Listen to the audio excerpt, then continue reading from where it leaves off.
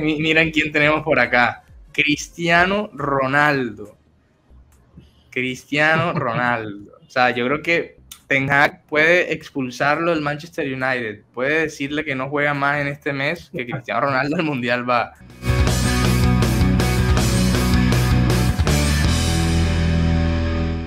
Muy buenas tardes para todos, bienvenidos a El Pop de Valores, el espacio donde se reúne toda la familia de Valoa, la plataforma que une a toda la comunidad global del fútbol a pasarla bien y hablar de este deporte que tanto nos apasiona. Bueno, hoy es un día especial porque con esta convocatoria que vamos a armar el día de hoy cerramos nuestro Pop de Valores donde estamos armando las convocatorias, eh, los 26 futbolistas que para nosotros deberían integrar las plantillas de los favoritos, digamos, de los candidatos. Hoy vamos a estar armando la plantilla de la selección de Portugal, la selección de Cristiano Ronaldo. Hace poco hicimos un video para nuestras redes sociales y también lo subimos a nuestra plataforma Baloa eh, sobre los últimos o los jugadores, eh, mejor dicho, eh, que en Qatar van a vivir su último mundial y en Portugal hay dos o quizá más de más de dos jugadores, pero sobre todo dos claves como lo son Cristiano Ronaldo y el señor Pepe, que en Qatar seguramente van a estar viviendo su último mundial con la selección lusa.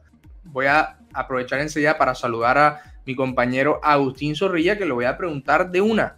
Agus, bienvenido ¿Y qué te parece la selección de, Portugal? ¿La consideras favorita para el Mundial o no tanto? No tanto como las otras anteriores. Y la verdad que no sé si considerarla como una de las favoritas, Ricky, pero a mí personalmente la tengo en una muy buena consideración porque ahora vamos a ver la cantidad de nombres que tiene, muy llamativo y como vos bien nombraste, además de tener nombres interesantes, tiene muy buena experiencia en jugadores como Pepe, Cristiano Ronaldo, Joao Moutinho, que vi lo nombraron en los comentarios, que es interesante. Quizás lo metemos, pero tiene nombres muy interesantes y hasta quizás eh, dos por puesto podríamos meter. Algo muy similar con lo que vino pasando con, la selección de Inglaterra, Ricky. Me voy a anticipar y te digo que creo que Portugal nunca en su historia había tenido tanto talento, por lo menos, o sea, solamente hablando de talento y futbolistas en los equipos top de Europa y demás, pero creo que no recuerdo una Portugal con tanto nivel que eso no quiere decir que solo por nivel ya vaya a llegar a la final.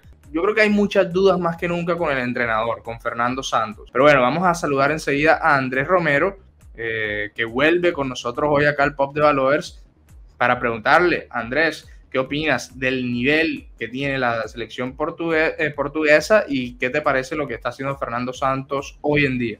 Y pues referente a lo que me decías pues del técnico, bueno, es un técnico que, que sabe ganar, quizás pues eh, los métodos no son los que uno espera, no es un fútbol vistoso, no es lo que queremos ver, ya que tenemos demasiado talento. La gente pues no gusta mucho Fernando Santos, pero bueno, al final si el resultado es que Fernando Santos queda campeón, pues creo que los métodos, la forma de obtener el título es lo de menos.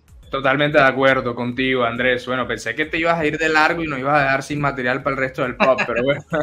Bienvenido, NASA, ¿cómo estás? Y a esta selección en portuguesa la veo con, mucha calidad de nombres, pero no, no la veo con mucho funcionamiento respecto al técnico, digamos. Yo creo que Rui Patricio es de los fijos, no sé, NASA, ¿qué, NASA, ¿qué opinas? Sí, en Rui Patricio, igual yo probaría también con Diego Costa, que está teniendo buenas actuaciones con el Porto. Tenemos dos espacios más para arqueros eh, en la selección de Portugal. Bueno, vamos con... Eh, este aquí es Nuno Méndez. Creo que tiene que ir porque es uno de los laterales más determinantes. Sporting, así. Sporting, sí. Bueno, Andrés y NASA, Nuno Méndez, fijo en el Mundial. Y Nuno Méndez, Nuno Méndez fijo. Danilo Pereira, que si bien toda la vida lo hemos conocido como volante 6, volante defensivo, últimamente juega como defensa central, incluso en el Paris Saint Germain muchos partidos lo vemos en esa posición. No sé, ustedes me dicen primero si tiene el nivel para estar en la convocatoria y dónde lo ubicamos, si en defensor o en, o en volante. Creo que lo estaríamos llevando para, para defensa. Últimamente está jugando de defensa, así que pues yo lo pondría ahí como, como central. Sí, sí, además esa polivalencia en el Mundial cotiza caro. importantísimo puede que se pierda el mundial, chicos. Danilo Pereira eh, en este momento eh, tiene una lesión de rodilla importante, así que no se sabe todavía si es está descartado o si le alcanza. O sea, no sé, me parece que de pronto aquí podemos dejar abierta la posibilidad de que no esté. Mario Ruiz, el, lateral eh, en este momento Del Napoli. en el Napoli, eh, 31 años. Sí, además también puede jugar como central. Pero a mí realmente el nivel de Mario Ruiz nunca, nunca me pareció bueno. Sí, concuerdo, concuerdo con Agus. Incluso Mario Ruiz le trae un, un- un refuerzo de, de la liga. No recuerdo el nombre, creo que es uruguayo. Y, y realmente pues lo, lo banqueó. O sea, lo, lo- lo- lo está alternando actualmente, pero, pero el nivel es, que no le da. Para mí no le da. Sí, y por ejemplo, aquí José Monteros adelante nos dice, creo que Nuno y Guerreiro le sacan ventaja por esa banda izquierda. La Claro. compro totalmente. Todavía Sí, no hemos sí, visto a Guerreiro. Sí, sí, Ok, Matías Olivera es que- le gana el puesto en Ese. es. Nos dice Pablo Carmelino que Danilo Pereira puede llegar en la primera semana de noviembre, así que iría. Pero bueno, vamos a dejarlo aquí. Joao Cancelo, el mejor lateral izquierdo siendo diestro, pero en la selección juega por derecho. Pero va. Una locura. Sin duda. Por, eh, por escándalo, uno de los mejores laterales del mundo. De acuerdo contigo, NASA. Eh, si no el mejor, ojo, en el, en el nivel actual, yo creo que Cancelo te pelea como el mejor lateral por ambos costados. Bueno, Pepe, ya no, no, voy, a, no voy a preguntar mucho más. Pues, encima, a pesar de sus 39 años ya, no, no baja el nivel para nada. 39 años tiene Pepe ya. Ya tenemos a nuestro primer central acá, a espera de lo que pase con, con, con Danilo Pereira. Eh, bueno, ahora está Guerreiro. Guerreiro, ¿ustedes consideran que su nivel actual es para ser el suplente de Nuno Méndez o incluso le pueda pelear el, el- la titular? Sí, Sí, Yo sí, digo. yo creo que. Perfecto, entonces ya tenemos a nuestros laterales, o sea, ya laterales izquierdos cubiertos con Nuno Méndez y, y Rafa Guerreiro. Bueno, aquí tenemos a Domingo Duarte, central del Getafe. Tiene tres partidos jugados con la selección. Personalmente tampoco lo veo eh, tan sólido como otros nombres que, que vamos a llegar un poco más, ta- más tarde. Dice Alberto Bermúdez que si al DT lo pueden desconvocar. Que hay, hay bastantes dudas con Fernando Santos, sobre todo, sobre todo con ese, con ese último partido. Es que yo creo que, yo creo que salió silbado el, el entrenador eh, en el último partido porque fue de local. No les gusta a los portugueses cómo juega la selección y me parece que tienen razón porque el talento, mira, ya solo con, solo con la defensa y el arquero tenemos un equipazo. Imagínense con lo que viene ahora en, en- en- en los delanteros y los volantes. Vamos a dejar, si les parece, a David Carmo allá abajo, a ver qué, con qué más nos encontramos. A ver, o sea, me parece que es o Pues Pepe nadie- o José Ponte. La verdad, mi fonte me gusta y además mi, mi, mi titular es Rubén Díaz. Rubén Díaz con el que tenga al lado. Bueno, ese es otro nombre que va fijo, apenas, apenas, apenas lo veamos, va para arriba. Así que nos quedaría nada más un central. Yo, Aus, yo a José Fonte no lo llevo. O sea, yo no llevo ni loco a dos centrales de 39 años a un mundial. Cedric Suárez, eh, jugador del Arsenal. eh, no sé, ya, ya tenemos ahí las dos posiciones prácticamente cu- cubiertas. Aus, eh, Cedric Suárez no, no creo que le alcance para, para banquear. Por ejemplo, aquí, mira, le voy, a, le voy a decir cuál de una vez es el jugador que creo que hace falta en los laterales. Y creo que es Diego Dalot del Manchester United. Mira, yo te digo una cosa. Me parece que es o José Sá o Ruiz Silva, el del Betis. Porque Yo creo que José Sá también puede aportar un poco más de, de experiencia, tiene 29 años. Yo también me quedo con José Sá, incluso yo lo fichaba en el FIFA 22, entonces pues, yo lo conozco, lo conozco, es bueno, es bueno. Sí, sí, yo creo que puede aportar experiencia. Aparte, recordemos que es arquero de la Premier, así que. eso pesa. Nelson Semedo. Nelson Semedo perdió a, uf, mucho terreno y yo creo que ya teniendo a Cancelo, teniendo a, a, a Diogo Dalot, Nelson Semedo no, nunca, nunca fue el mismo del que, el que era en Benfica, en el Barcelona, ni hablar cómo le fue. Así que Nelson Semedo descarte. Rodrigo Pere- eh, Ricardo Pereira, perdón, en Leicester no, no, no está en su mejor nivel. Tenemos aquí a Thierry Correia del, del Valencia. Creo que jugador de 23 años, nunca ha sido convocado. No, no creo que le dé como para estar en el Mundial. No, no. Otro lateral más. Tenemos a, a Carmo, a José Fonte, a Ignacio, a, mm, a Diogo Leite y a Domingo Duarte. Entonces, cada uno quédese con uno y le preguntamos también en el chat para que nos digan quién va a ser el cuarto central de, de la selección portuguesa. Bueno, justo lo terminamos de mencionar. A mí me está sorprendiendo bastante el nivel de Diogo Leite. Voy con él. Creo que concuerdo con Agus, voy con Diego Leite. Yo, yo creo que voy con Gonzalo Ignacio. Me está gustando cómo, cómo está jugando la Champions, cómo completa partidos en el Sporting. Eh, Pablo Carmelí insiste que Ignacio es el que mejor salida de balón y proyección ofensiva tiene. Es la pieza faltante en el perfil de centrales. Ya empezamos aquí con la zona de volantes. Aquí tenemos a Joao Paliña del Fulham, nuevo fichaje, pagó bastante el Fulham por él. Pero se perdió un par de partidos y se notó bastante en el Fulham eh, su, su baja. Él juega como pivote, como 5 en la posición quizás que estamos recién nombrando de Joao Moutinho. Por lo menos les digo como, información, como datos, que Paliña no fue titular en ninguno de los dos últimos partidos, pero es que van a ver la cantidad de buenos jugadores que tiene Portugal en esa, en esa posición, pero coincido, Paliña debería ir al, al Mundial, pero ya lo verán. Bueno, Bruno Fernández, por favor, yo creo que va primero, o sea, que se entienda.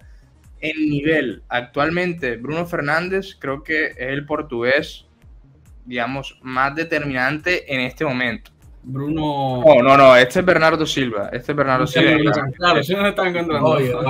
No, no. Sí, sí, este va. Mateo Núñez, eh, volante del Wolverhampton, ya tiene casi 10 partidos jugados con la selección. Eh, este volante del Wolverhampton estuvo en la última convocatoria yo creo que le, yo creo que Fernando Saltos lo, le va a seguir dando la confianza y lo va a llevar. Este es otro muchacho que les decía que en esa posición Portugal está más que bien y es William Carvalho del Betis. Ya tenemos listos nuestros tres arqueros, chicos. Tenemos a Rui Patricio, a José Sá y a Diego Costa. Vitiña, que fue uno de los últimos fichajes que hizo el, el PSG y me parece que ha sorprendido. Yo yo no pensé que iba a empezar tan bien a Vitiña lo ponemos aquí, me parece que está bien un poquito atrás de, Bruno Fernández. Parece más veterano de lo, que, de lo que es. Joao Mario apenas tiene 29 años, chicos. O sea, yo a Joao, Mario lo vengo escuchando hace mucho tiempo y para mí es un jugador de 30 y pico años.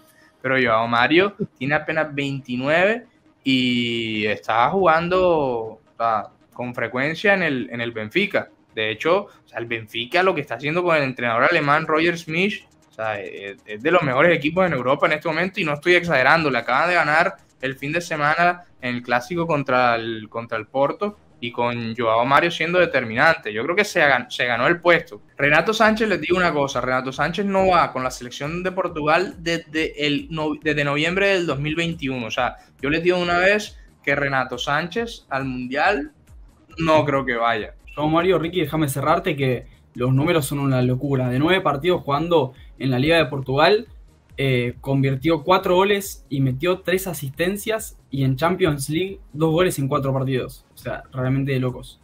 Sí, estamos dejando por fuera, chicos, por ejemplo, a Joao Moutinho.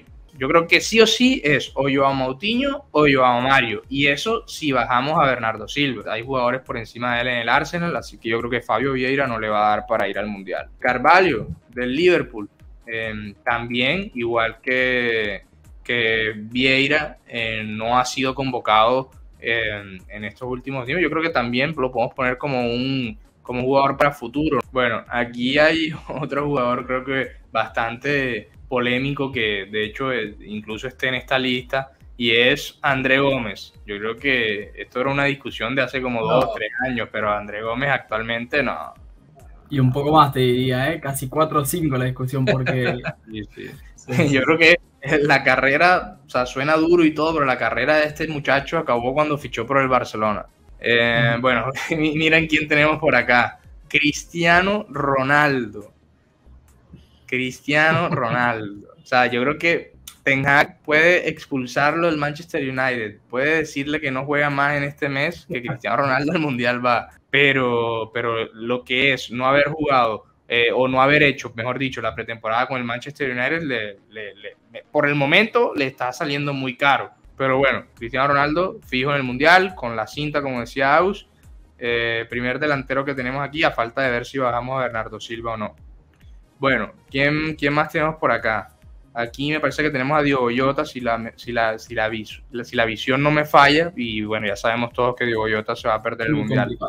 Y, y, bueno, yo no sé, me suena que que, que Horta va a estar en el Mundial por la confianza que le tiene el, técnico y por su nivel. De acuerdo. Bueno, Andrés, Rafael Leao fuera. no, me voy, me voy. Pero bueno, Rafael Leao fijo en el Mundial. ¿Qué nivel el de este muchacho en, el Vila Bueno, aquí tenemos, por ejemplo, a Joao Félix, jugador que Atlético de Madrid, yo no sé qué le pasó a este chico, bueno, también la forma de jugar de, del Atleti, no sé, aquí entran muchas cosas en juego, yo creo que nunca, nunca se pudo o se ha podido adaptar al, al, fútbol del Cholo, no sé, pero igual, o sea, creo que al Mundial con Portugal sí le alcanza, NASA, no sé. Sí, yo, yo creo que le alcanzan. Tenemos a este jugador, me parece que en el Benfica está teniendo un nivel increíble, que es Gonzalo Ramos, el delantero centro del Benfica. Andrés, Silva, tiene una competencia en el, en el Leipzig importante con Werner, con Nkunku. Tenemos aquí a Rafa, el extremo del que estábamos hablando del Benfica. Eh, también está en un gran nivel. O sea, si, si, toca, si toca elegir entre Rafa Silva y Otavio, yo me llevo a Rafa Silva. Otavio puede ser un natural de Bernardo. Ok, entonces vámonos con Otavio, a ver. También voy a ir por Joao Mario. Yo también voy a ir por Joao Mario. Me parece que él, eh, es una de las figuras del Benfica, eh, líder, eh, y ha demostrado que todavía está vigente. Entonces, Agu, repasemos los nombres, tenemos nuestra plantilla y luego quiero que cada uno me diga qué tan favorita es esta selección y hasta dónde puede llegar. En, en el arco tenemos a Rui Patricio, José Sá y a Diogo Santos. Ya dijimos que Diogo puede ser el arquero titular. Defensores tenemos como laterales izquierdos. Tenemos a Nuno Méndez y a Rafa Guerreiro. Ojo que ambos son muy ofensivos y quizá, no le voy a decir que flojos, pero descuidan mucho la defensa. Joao Cancelo, que sigue un poco más completo, con Diogo Dalot igual. Y Pepe, Danilo Pereira, Rubén Díaz y Gonzalo Ignacio como centrales. Volantes. Como pivotes o volantes defensivos tenemos a William Carvalho, tenemos a, eh, a Paliña, tenemos a Rubén Neves, tenemos también, por ejemplo, a, a Vitiña, tenemos a Mateus Núñez, tenemos a Bruno Fernández y a Bernardo Silva. Yo creo que Bernardo Silva puede ser un volante delantero. Yo a Mario con Bernardo Silva. Y delanteros tenemos a Cristiano Ronaldo, a Ricardo Horta, Rafael Leao, Joao Félix, Gonzalo Ramos, Rafa y Otavio. Bueno, Agus, empiezo contigo. ¿Para qué está hecha esta selección? es terrible, los nombres que tienen son impresionantes, la cantidad de, variantes en todos los puestos. Y para mí, por lo menos, sencillamente pueden llegar a, semifinales, Ricky. Fuerte, Agus. Pero en nivel, en nivel pueden. Me, encanta el comentario de, si el Calvo lo dice. Dice, está buena, solo se espera que el entrenador no sea defensivo. Dice Luis Rayón, por ejemplo, oh, se quedan en grupos. Recordemos el grupo de, Portugal es eh, Uruguay, Corea del Sur y gana. Gana, gana, sí. No es fácil. La pongo como mínimo con esta plantilla, como mínimo en cuartos de final. No sé, Andrés, ¿qué te parece a ti? Y te pido que me respondas, ¿es candidata a esta selección para llevarse al Mundial o no le da? No, lastimosamente no creo que le dé para, ir al Mundial. De pronto pues puede dar la sorpresa. para ir al Mundial sí, para ir al Mundial sí, porque el Mundial está... para, como para ganar el Mundial, para ganar el Mundial. Se va a desclasificar. Le va a pasar la de Ecuador. Bueno, no, yo, yo creo, yo creo que, que una, una, semifinal. De acuerdo. bueno, ojo, ojo, con este comentario de Pablo Carmelino. Portugal será finalista del Mundial Qatar 2022. Me gustaría que guarden este comentario en las oficinas de Baloa. ¿Qué opinas, Nasa? ¿Estás de acuerdo? ¿O ni por ahí? Yo creo que hasta cuarto llega, porque con el entrenador, a nivel nombres está buenísimo, pero a nivel entrenador yo creo que no, no le da para pasar de cuarto de final. Juan Fernando Moreno nos dice algo súper importante, que es, estamos omitiendo un pequeño, un pequeño detalle. Si Portugal es segundo del grupo H, que es lo que estamos diciendo, porque Uruguay sería primero, se enfrentaría en octavos de final a Brasil, quien seguramente va a ganar el grupo G. O sea, un partidazo impresionante. Bueno, ya sea Uruguay o Portugal, el que sea que quede de segundo, ya hay un partidazo garantizado en octavos de, del Mundial. Fuerte abrazo para todos y, bueno, muy pendientes a, todo lo que publiquemos en, nuestras redes sociales. Saben que nos pueden seguir como arroba Baloa Fútbol, pero sobre todo, más importante, si no tienes aún la aplicación de Baloa, descárgatela, puedes ir rápidamente a tu App Store, a tu Play Store, puedes buscar Baloa, la descargas y llenas todos tus datos, te registras, subes una foto de perfil, creas tu cuenta y quedas listo para generar contenido, opinar, ver goles, todo lo que tú quieras. En Baloa vas a poder, de ahora en adelante vas a poder hacer absolutamente todo lo que quieras, siempre y cuando tenga que ver con fútbol. Fuerte abrazo para todos y nos vemos el próximo viernes. Chao, chao. Chao, chicos.